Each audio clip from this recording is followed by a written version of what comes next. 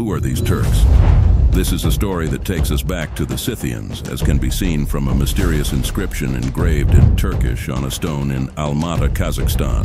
The Khan's son disappeared when he was 23 years old. It shows that the history of the Turks goes back to the Scythians. Herodotus wrote vivid narratives depicting the Turks as nomads of the steppes in the Mid-Saya, whose lives were intertwined with bows, daggers, and axes. Their legendary ancestor, Alp Ertunga, still resonates in the annals of history. The Iranians had their own approach, calling the Turks Afrasyab and attributing world domination to them.